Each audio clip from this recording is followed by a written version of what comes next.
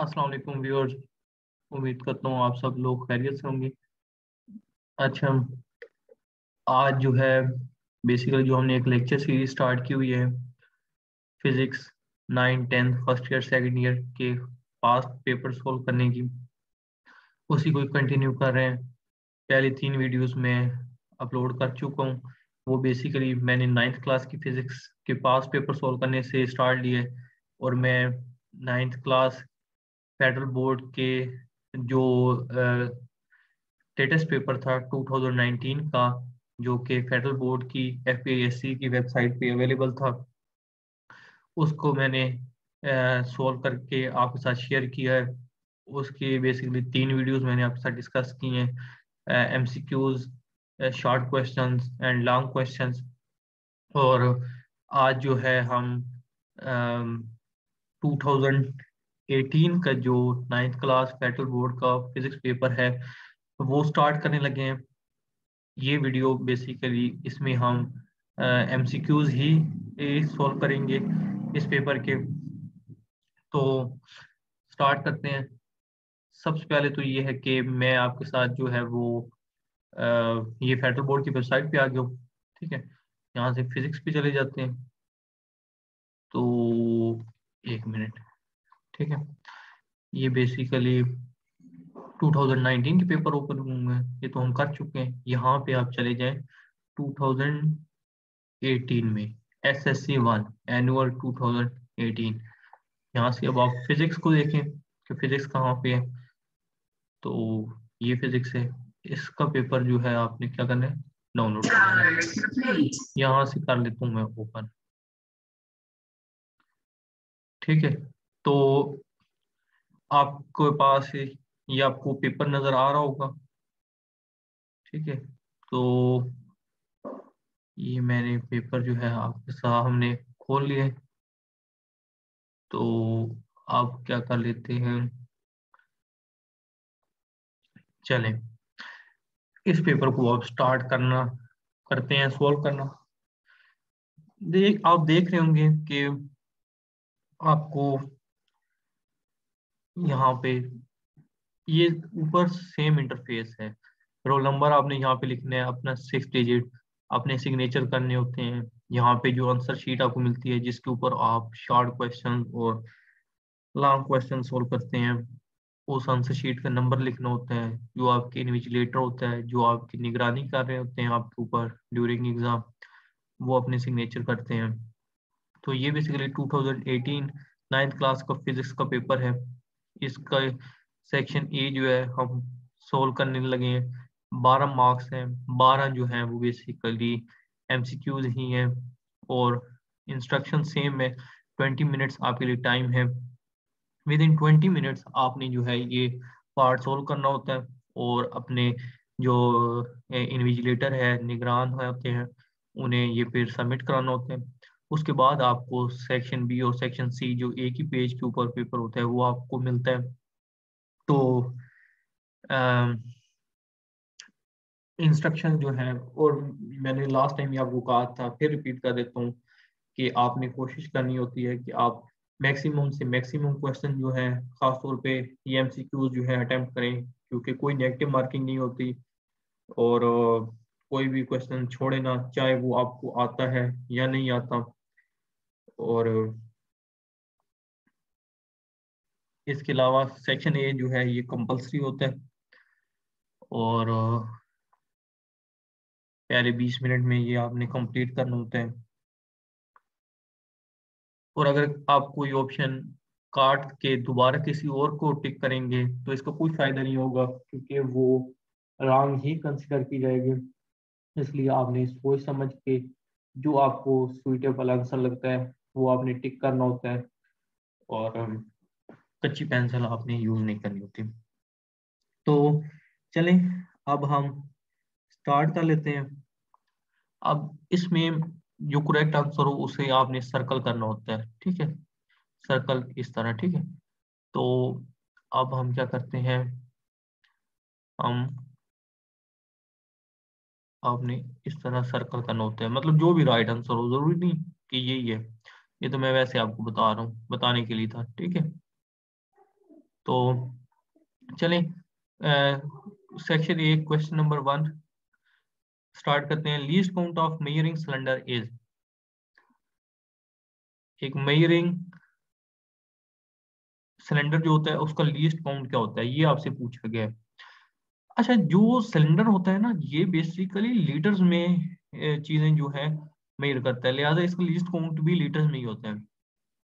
तो मतलब यहाँ से तीन ये ऑप्शन आपको लग रही हैं कि लीटर्स में, ये तो मीटर क्यूब में है। तो इनमें से जो राइट आंसर है, वो बेसिकली है वन मिली लीटर तो ये आपका क्या है? राइट right आंसर है कि जो मेयरिंग सिलेंडर का लीस्ट काउंट होता है, वो वन एम होता है। इसी तरह आपको वेनियर कैलिपर स्क्रू गेज उनके लिस्ट काउंट भी पता होने चाहिए? और वो भी आपसे पूछे जा सकते हैं एग्ज़ाम में। एग्ज़ाम में यही होता है, इस पेपर में जिस तरह मेयरिंग सिलेंडर का लिस्ट काउंट पूछ लिया उन्होंने, किसी और एग्ज़ाम में आपसे वो वेनियर कैलिपर स्क्रू गेज का जो है वो लिस्ट काउंट पूछ लेंगे। तो ये बहुत इंपॉर्टेंट क्वेश्चन है। तो लिस्ट काउंट मैंने आपको बता दिया मेयरिंग सिलेंडर क्या होता है? वन एम होता है। क्वेश्चन नंबर टू है significant figures in a number are एक नंबर में सिग्निफिकेंट फिगर्स क्या होते हैं? Option A all the accurately known digits and the first doubtful digit option B all the digits option C all the accurately known digits option D all the accurately known digits and all the doubtful digits तो इस question का जो right right answer है वो है basically आप देख लें ए, क्या होना चाहिए? तो वो बेसिकली ऑप्शन ए है के नंबर्स में जो सिग्निफिकेंट फिगर्स होते हैं, वो तमाम जो हमें नाउन डिजिट्स होते हैं एक्यूरेटली वो वो जो पहला डाउटफुल शक वाला जो डिजिट होता है, वो होता है। ये बेसिकली डेफिनेशन ही है सिग्निफिकेंट फिगर्स की। तो देखें डेफिनेशन भी बड़ी इंपॉर्टेंट है। तो ऑप्शन ए जो है, वो करेक्ट है।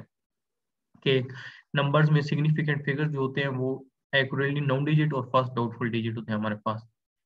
क्वेश्चन नंबर थ्री है when an object is moving with uniformly changing speed then the slope of the speed time graph determines the magnitude of जब एक ऑब्जेक्ट जो है वो यूनिफॉर्म चेंजिंग स्पीड के साथ मूव कर रहा है तब स्पीड टाइम ग्राफ की जो स्लोप है वो हमें किस चीज़ की मैग्नीट्यूड देती है तो ये आपने जो है याद रखना है कि अगर डिस्टेंस टाइम ग्राफ हो तो वो आपको जो है मैग्नीट्यूड देगी विलासिटी की। क्योंकि स्पीड टाइम ग्राफ है, लिहाजा वो आपको मैग्नीट्यूड देगी किस चीज़ की? असलरेशन की। तो ये आपने याद रखना है। तो ये हमने क्वेश्चन नंबर थ्री जो है वो अटेम्प्ट कर लिया। क्वेश्चन नंबर फोर है जी a string is stretched by two equal and opposite forces F newton each एक रस्सी है, उसे हम क्या करते हैं? स्ट्रेच कर रहे हैं।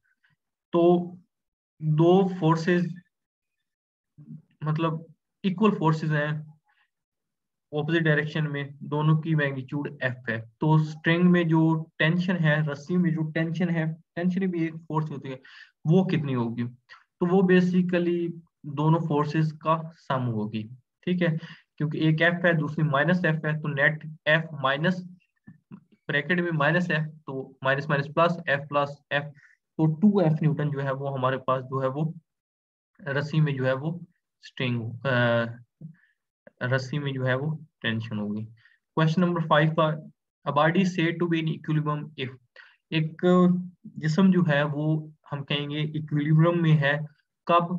चार ऑप्शन गिवन है option A its velocity is not changing. Option B its acceleration is uniform. Option C, its velocity is changing. Option D, its acceleration is not uniform.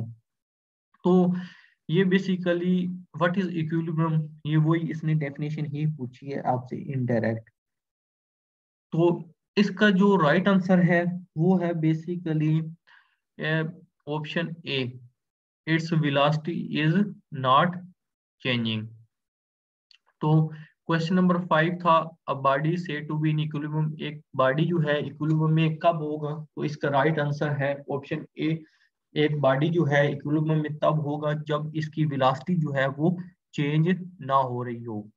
ठीक है? तो ये बहुत इंपॉर्टेंट स्टेटमेंट है, आपने याद रखना है।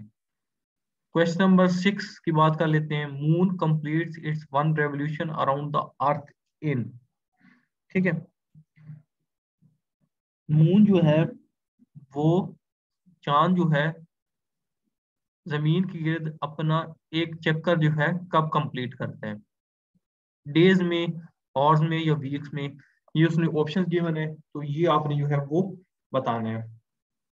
तो ये मैं आपको बता देता हूँ। एक मिनट इसे मैं चेक कर लेते हैं। मैं आपको बता देता हूँ।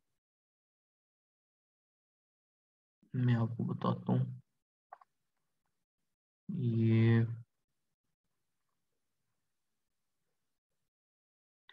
moon completes its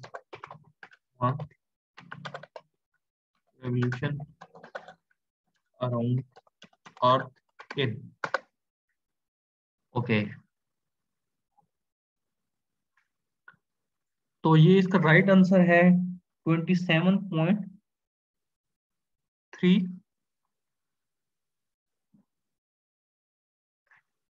okay where is question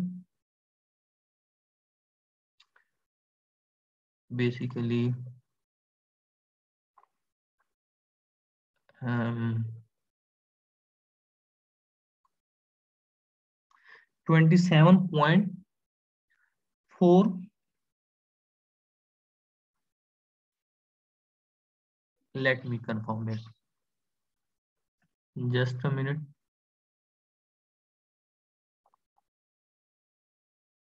तो तो ये बेसिकली 27 डेज़ ही जो है वो बनते हैं, ठीक है? 27 डेज़ जो है वो बनते हैं। तो इसका जो है राइट आंसर फिर आपके पास क्या होगा? 27.4 डेज़ आप कह सकते हैं। या आप इसे चेक कर लें वर्ड्स में तो फिर आप देख लें मे भी ये भी ठीक हो सकते हैं आंसर मून कंप्लीट रेवोल्यूशन और द अर्थ लेकिन ऑप्शन ए जो है वो राइट आंसर है। 27.4 डेज़ में जो है वो मून जो है वो अपना ज़मीन के गिर्द एक चक्कर जो है वो कंप्लीट करते हैं। तो option A 27.4 days is the right answer question number seven की बात कर लेते हैं। If mass is halved and the velocity is double, then its kinetic energy will be बहुत इंपॉर्टेंट बहुत अच्छा क्वेश्चन है। पूछ रहे हैं काइनेटिक एनर्जी के बारे में पूछ रहे हैं। सबसे पहले तो ये है कि आप इस सवाल का जवाब तब दे सकते हैं जब आपको पता हो काइनेटिक एनर्जी होती क्या तो काइनेटिक एनर्जी जो है, वो होती है आपके पास। क्या होती है? काइनेटिक एनर्जी होती है।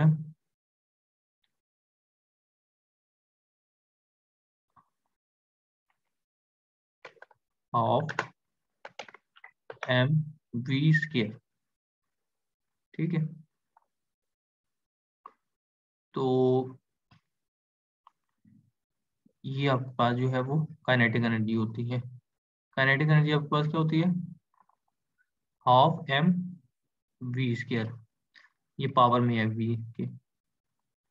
तो अब वो कह रहा है, अगर बॉडी का मैस जो है हार्ट का मतलब होता है आधा कर दे। अगर मैस को हम क्या कर दें? एम बाई टू कर दें। तो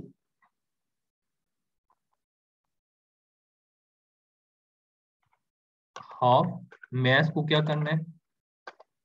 हम एम बाई टू कर दें। और साथ वो कह रहे हैं, क्या करें? हम विलासिटी को डबल कर दें। मतलब v को हम टू वी कर दें। और इसका ये स्केयर है। अच्छा ये जो चीज़ है, ये स्केयर है।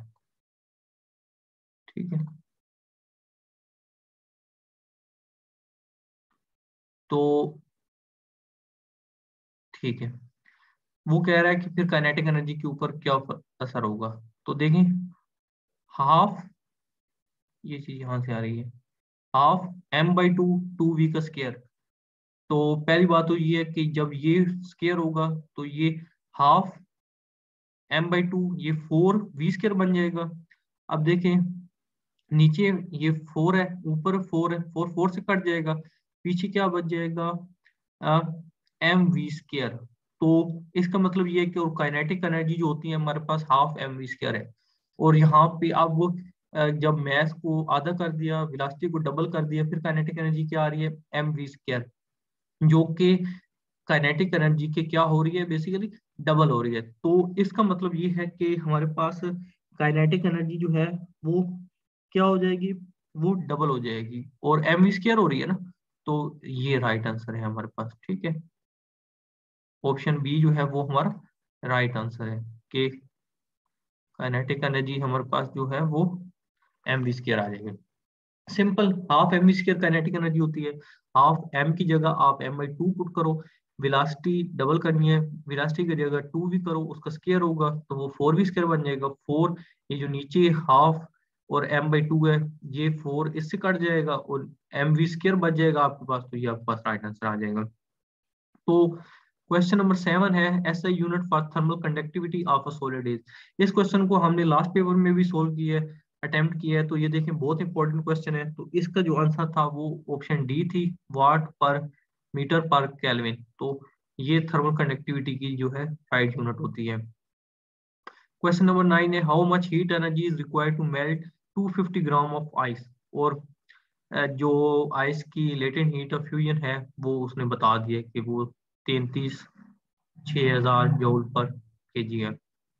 तो कितनी हीट चाहिए हमें 250 ग्राम ऑफ़ आइस को मेल्ट करने के लिए, ये पूछ रहा है। तो इसके लिए आपने क्या करना है? आपने m c delta t Q equal to m c delta t वाला फार्मूला यूज़ कर लेना है। सी आपके पास ये होगी एम ये होगा डेल्टा टी वो जितना आपके पास टेम्परेचर में जो चेंज आ रहा है, वो आ जाएगा। और आपके पास इस क्वेश्चन का जो राइट आंसर है, वो मैं आपको बता देता हूँ। वो आपके पास आ जाएगा option A eight four triple zero joule तो ये इतनी अमाउंट ऑफ़ हीट आपको चाहिए to melt 250 gram of ice तो इसका अगर आपको कंप्लीट सॉल्यूशन चाहिए, वो मैं आपको बता देता हूँ just a second how much heat energy is required to melt to melt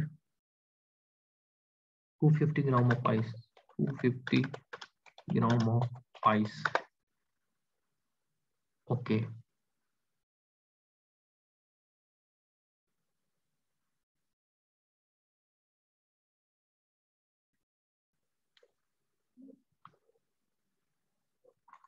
Okay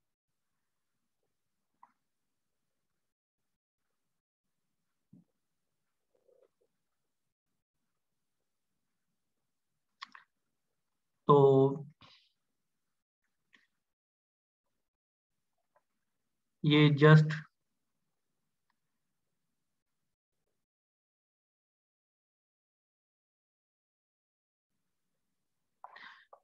ठीक है।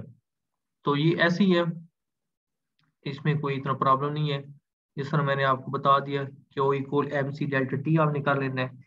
सी गिवन है एम गिवन है डेल्टा टी जो है वो टेम्परेचर का डिफरेंस आप लेके बड़ी आसानी से फाइंड कर सकते हैं तो आपके पास जवाब जो है, ये ऑप्शन ए आ जाएगा। क्वेश्चन नंबर टेन है pressure of a liquid depends on एक को लिक्विड जो होता है, उसका प्रेशर किस चीज़ पे डिपेंड करता है? चार ऑप्शन गिवन है option A depth in the liquid option B depth and density of the liquid option C depth and mass of liquid option D density and weight of the liquid तो इस question का जो right right answer है, वो है option D depth and density of liquid आपने याद रखना है। क्वेश्चन नंबर टेन का राइट आंसर क्या है? कि वो है depth and density of liquid कोई भी लिक्विड हो, उसका प्रेशर जो है, वो डिपेंड करता है डेप्थ कितनी है और लिक्विड जो है, उसकी डेंसिटी जो है, वो क्या है। क्वेश्चन नंबर अलेवन है if 100 newton force moves a body of mass 3 kg through a distance of 3 metre then work done will be अगर एक सौ न्यूटन की फोर्स हम लगाते हैं बॉडी के ऊपर, जिसका मैथ तीन किलोग्राम है, और वो उस फोर्स की वजह से तीन मीटर डिस्टेंस कवर करता है तो वर्क डन कितना होगा इस प्रोसेस में वो बताना है। बहुत सिंपल क्वेश्चन है। आपको पता है कि वर्क डन क्या होता है? Product of force and displacement होते हैं। तो फोर्स गिवन है हंड्रेड न्यूटन है डिस्प्लेसमेंट डिस्टेंस जितना कवर करता है, वो भी गिवन आपको थ्री है तो वर्क डन आपके पास आ जाएगा फोर्स इंटू डिस्प्लेसमेंट तो फोर्स हंड्रेड है और ये थ्री है। और हंड्रेड इंटू थ्री तो थ्री हंड्रेड आपके पास जो आना चाहिए। तो ऑप्शन सी जो है वो आपका राइट आंसर है। अब देखें, ये ना इसने थोड़ा सा कंफ्यूज करने के लिए मैथ्स का मैथ्स भी दे दिया था बॉडी का। हालाँकि इसकी ज़रूरत नहीं है। हम पता है कि work product of force and displacement होता है। फोर्स गिवन है hundred newton displacement three metre तो जस्ट कंफ्यूज करने के लिए आपको कि आप गलती करें इस थ्री को भी आप मल्टीप्लाई डिवाइड कर दें। तो सम टाइम एक्स्ट्रा इन्फॉर्मेशन भी क्वेश्चन में गिवन होती है तो आपने कंफ्यूज नहीं होना। आपके जो कॉन्सेप्ट हैं, जो आपको अंडरस्टैंडिंग है, आपने वो यूज़ करनी है और जो सही आंसर आपको लगता है, जैसे सोल्व करना है, आपने उस हिसाब से ही सोल्व करना है।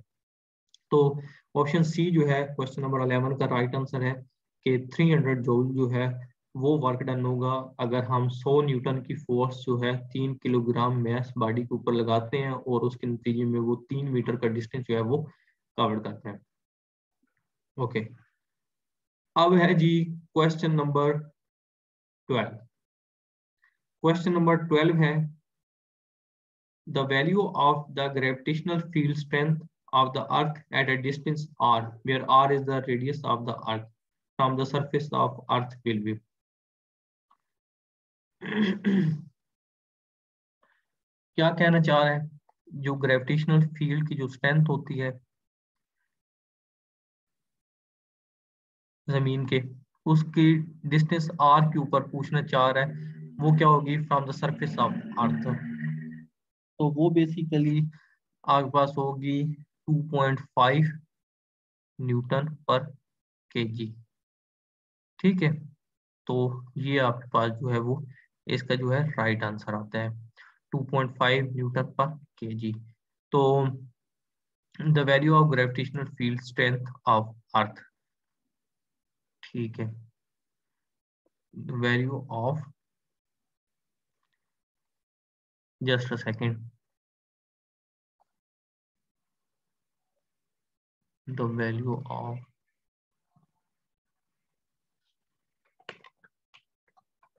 the value of gravitational field um, strength the value of gravitational field strength of the earth at a distance R तो मैंने आपको बताया कि इसका राइट आंसर मैंने आपको बता दिया कि वो क्या होगा? वो बेसिकली 2.5 न्यूटन पर केजी होगा। तो बिल्कुल ऐसे ही है। यही होगा। क्योंकि ओके। तो हम कहा थे? ये ऑप्शन सी जो है, वो इसका जो है राइट आंसर है क्वेश्चन नंबर ट्वेल्व का। चले सम अप कर देता हूँ इस पेपर को। हमने ये फिजिक्स नाइन्थ क्लास 2019 का ऑब्जेक्टिव पेपर जो है सेक्शन ए जो है, वो डिस्कस किया। इसमें हमने जो इम्पोर्टेंट चीज़ें देखी हैं वो मैं आपको नोट डाउन करा दूँ। एक तो ये कि मेयरिंग सिलेंडर का लीस्ट काउंट हमारे पास वन एम होता है। इस तरह आपको स्क्रू गेज और वेरियर कैलिपर की लीस्ट काउंट भी जबानी याद होनी चाहिए। किसी भी नंबर के सिग्निफिकेंट फिगर्स क्या होते हैं? वो सारे एक्यूरेटली नॉन डिजिट और पहला जो डाउटफुल डिजिट होता है, वो होते हैं। इसके अलावा अगर हमारे पास स्पीड टाइम ग्राफ हो तो उसकी जो स्लोप हो वो हमें असलरेशन की मैग्नीट्यूड बताती है। इस तरह अगर डिस्टेंस टाइम ग्राफ हो तो उसकी स्लोप की मैग्नीट्यूड हमें वेलोसिटी बताती है। और इसके अलावा हमने ये भी देखा कि बॉडी कोई भी इक्विलिब्रियम में तब होता है जब उसकी वेलोसिटी जो है वो चेंज ना हो रही हो। और हमने ये भी कहा, देखा कि जो मून जो है आपकी अपना एक चक्कर 27 दिनों में तकरीबन कंप्लीट करते हैं। और एक हमने बड़ी इंपॉर्टेंट चीज़ देखी कि kinetic energy half m v square होती है, लेकिन अगर मैस को आधा कर दें वेलोसिटी को डबल कर दें तो हमारे पास काइनेटिक एनर्जी जो है वो डबल हो जाती है मतलब एम वी स्केयर हो जाती है। इसी तरह अगर इस क्वेश्चन में आपको कहा जाए कि काइनेटिक एनर्जी पे क्या फ़र्क होगा, अगर हम मैथ को आधे की जगह डबल करने को कह दे और विलासिटी को डबल की जगह फोर टाइम कह दे हाफ़ कह दे, या विलासिटी कांस्टेंट रखने को कह दे तो इस हिसाब से इस फार्मूले में आपने ये मैथ और वैल्यू की वो चीज़ें डाल के आपने सिंपल करके बता देने कि काइनेटिक एनर्जी इतनी हो जाएगी। बहुत इंपॉर्टेंट रिपीटेड एमसीक्यूज फिर हमारे पास एक आया कि थर्मल कंडक्टिविटी की यूनिट सॉलिड के लिए जो थर्मल कंडक्टिविटी होती है, उसकी यूनिट क्या है? तो हमने लास्ट में बड़े डिटेल में इसे डिस्कस किया था तो यहाँ पे हमने डायरेक्ट यूज़ कर लिया कि इसकी यूनिट वाट पर मीटर पर कैलविन होती है। तो एक एक और न्यूमेरिकल तकरीबन रिपीट हो रहा है कि आपसे वो हीट पूछ रहा है स्पेसिफिक हीट जब आपको गिवन हो मैथ गिवन हो तो Q is equal to m c delta t आप यूज़ कर सकते हैं। और कोई भी ये जो लिक्विड्स हमारे पास होते हैं, इनका प्रेशर जो है डेप्थ और लिक्विड की डेंसिटी पे डिपेंड करता है। तो work done product of force and displacement होता है तो फोर्स और डिस्टेंस अगर गिवन हो तो आप वर्क बड़ी आसानी से फाइंड कर सकते हैं। तो इस तरह ये हमने पेपर जो है, वो बड़े अच्छी तरीके से समझ लिया। तो चलें, अगर कोई चीज़ आपको मजीद समझ ना आई हो, कोई एम्बिग्यूटी हो किसी चीज़ में तो आपने कमेंट सेक्शन में लाजमीन बताना है। और इस इस पेपर का सेकंड पार्ट जो है शॉर्ट क्वेश्चन जो है, वो मैं आपके साथ नेक्स्ट वीडियो में डिस्कस करता हूँ। तो चैनल को लाइक सब्सक्राइब शेयर ज़रूर कर दें। अपना बहुत सारा ख्याल रखिएगा। मिलते हैं नेक्स्ट वीडियो में। तब तक के लिए अल्लाह हाफिज़।